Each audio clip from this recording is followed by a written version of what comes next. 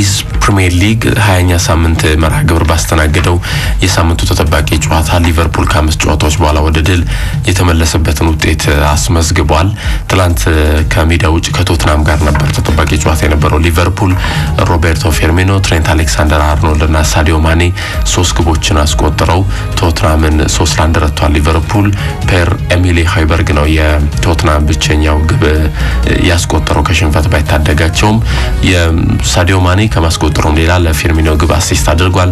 አሌክሳንደር አርኖልድም ከማስቆጠሩ ሌላ ለሳዲዮ ማኔ ግብ assist አድርጓልና ሶስቱ በተለይ ሁለቱ ተጫዋቾች እነዚህ ሶስት ግቦች ላይ ቀጥታ ተሳትፎ ያደረጉ ናቸው።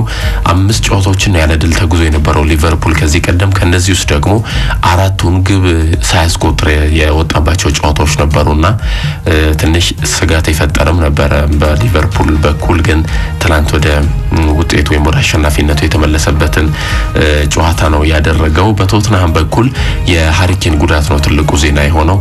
የቀኝ ቁርጭምጭሚቱ ላይ ጉዳት ገጥሞታል። ይሄም ለተወሰኑ ሳምንታት ከሜዳ ያርቀዋል ብለዋል አሰልጣኝ ጆዜ ሞሪኒዮ። የ27 ዓመቱ እንግሊዛዊ ከ ጆርዳን ሄንደርሰን ጋር በነበረው ግጭት ነው ጉዳቱ የደረሰበት። ከዛ ቀደም ብሎ ደግሞ እንደዚሁ ከቲያጎ አልካንትራም ጋር እንደዚሁ ቀኝ ቁርጭምጭሚቱ ጉዳት ደርሶበት ነበረ። ጆዜ ሞሪኒዮ ከጨዋታው በኋላ ሲናገሩ ሁለተኛው ጉዳት ከመጀመሪያው የከፋ ነው የሚል አስተያየትን ሰጥተዋል። እንግዲህ ሀሪኬንን በእንደዚህ አይነት ጨዋታ ለዚያውም እየተመራን ማጣት እንደ ሌሎች ጉዳቶች ቀለል ተብሎ እንደ ዋዛ የሚታይ አይደለም የሚል አስተያየትንም እንደዚሁ ሰጥቷል። አንዳንድ የማይተኩ ተጫዋቾች አሉ፣ ሲያጋጥም ደግሞ ምንም ማድረግ አይቻልም፣ ፈተናውን መጋፈጥ ነው የሚል ሀሳብንም ጆዜ ሞሪኒዮ ያነሱት ሀሪኬን ከዚህ ቀደምም ያው ተመሳይ ነገሮች ገጥመውት የቁርጭምጭሚቱ ላይ በተደጋጋሚ ጉዳት የሚደርስበት ተጫዋች ነው። አሁን ምን ያህል ጊዜ ከሜዳ ይርቃል የሚለው በእርግጠኝነት ባይገለጽም ጥቂት ሳምንታት ግን እየተባለ ነው። ከዚህ ቀደም ወራትንም ሳምንታትንም በተመሳይ ጉዳት ባለፉት ዓመታት ከሜዳ ሲርቅ እንደነበር ይታወሳል። የሊጉ 21ኛ ሳምንት መርሃ ግብርም ነገና እሁድ ቀጥሎ ይደረጋል። ነገ ኤምሬትስ ላይ ምሽቱ ሁለት ሰዓት ከ30 ጀምሮ አርሰናል ማንቸስተር ዩናይትድን የሚያስተናግድበት ጨዋታ ትልቅ ግምት ተሰጥቶታል። ከሼፊልዱ ሽንፈት ማግስት ማንቸስተር ዩናይትድ ወደ ኤምሬትስ ተጉዞ የሚያደርገው ጨዋታ ነው። ወሳኝ የሚባል ጨዋታ ነው ለሁለቱም ቡድኖች።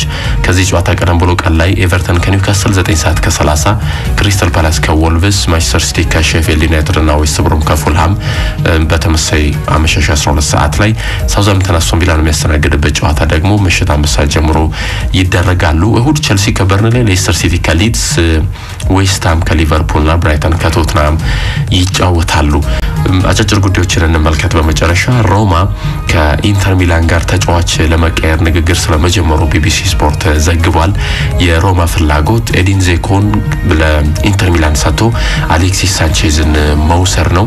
የቀድሞ የማንቸስተር ሲቲ አጥቂ የ34 ዓመቱ ኤዲን ዜኮ በአሰልጣኝ ፓውሎ ፎንሴካ ስር በሮማ የመቆየቱ ነገር አጠራጣሪ ሆኗል። የ32 ዓመቱ ሳንቼዝም ቢሆን በዚህ የውድድር ዓመት ሁለት ግቦችን ብቻ ነው ለኢንተር ሚላን ማስቆጠር የቻለው። አንቶኒዮ ኮንቴም ሳንቼዝ ቢለቅ አይቃወሙም የሚሉ መረጃዎች ናቸው ተያይዘው እየወጡ ያሉት።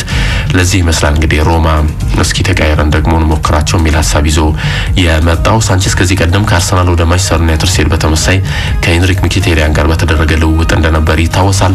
ከማንቸስተር ዩናይትድ ወደ ኢንተር ሚላን በውሰት ውል ሄዶ ከዚያም ወደ ቋሚነት የተቀየረን ቆይታ በኢንተር ሚላን ማድረጉ እንደዚሁ አይዘነጋም። አሁን ደግሞ እንግዲህ ምናልባት ወደ ሮም ተጉዞ ከሮማ ጋር ቆይታ ሊያደርግ ይችላል። ዜኮ ደግሞ ወደ ሚላን መጥቶ እንደዚሁ ቀጣይ ጊዜያትን ላይ ያሳለፉ ይችላሉ እየተባለ ነው የሚገኘው።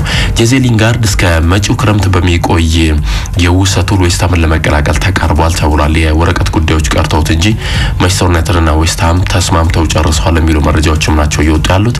እንደ እክል የተነሳው ግን ምናልባት ዌስትሃም ሊንጋርድን በውሰት ለማግኘት ከሰይድ ቤንራማ አሊያም ክሬግ ዳውሰን አንዳቸውን በቋሚነት የማስፈረም ግዴታ ይኖርበታል ተብሏል። ከሀገር ውስጥ የውሰት የውሰት ዝውውር ከሁለት ተጫዋቾች በላይ በስብስብ ውስጥ መያዝ እንደማይቻል እንግዲህ ፕሪሚየር ሊጉ ደንግጓል። ለዚህ ነው ግን ከዚሁ ጋር ተያይዞ እየወጡ ያሉ መረጃዎች እንደሚያሳዩት ዌስትሃም ይህንን ለመቅረፍ የቤንራማን ውል ወደ በቋሚነት ለመቀየር እንቅስቃሴ ስለመጀመሩም እንደዚሁ ተያይዞ እየወጣ ነው የሚገኘው። የሚሳካ ከሆነ ጄዜ ሊንጋርድ በዚህ አመት ሶስት ጨዋታዎችን ብቻ ለዚያውም በሁለቱን በካራባኦ ዋንጫ ነው ለዩናይትድ ያደረገው። ብዙም የኦሌ ጉናር ሶልሻየር የፍላጎት ዝርዝር ውስጥ የተካተተ ተጫዋች አይደለም። በዚህ የጥር የዝውውር መስኮት ምናልባትም ኦልድትራፎርድን በውሰት ውልም ቢሆን ሊሰናበቱ ይችላሉ ተብሎ እየተጠበቁ ካሉ ተጫዋቾች አንዱ እንግሊዛዊው ጄዜ ሊንጋርድ ነው።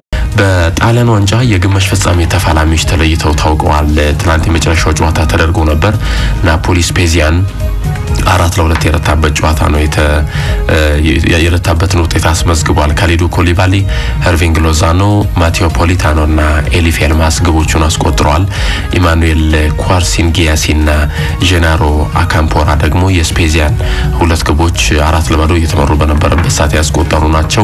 ከሁለት ተከታታይ ሽንፈቶች በኋላ ወደ ድል የተመለሰበት ጨዋታ ነው። ናፖሊ በዩቬንቱስ በአሸናፊዎች አሸናፊ በጣሊያን እንደዚሁም በሴሪያው ባለፉት ጨዋታዎች ሽንፈት ገጥሞት እንደነበር ይታወሳል። በግማሽ ፍጻሜው ናፖሊ ከአታላንታ ነው የሚጫወተው።